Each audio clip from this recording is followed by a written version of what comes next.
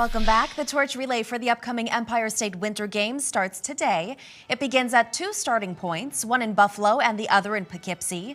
The two routes will converge in Lake Placid for the final leg of the five day, 700 mile journey on Thursday, February 1st, when the games get underway.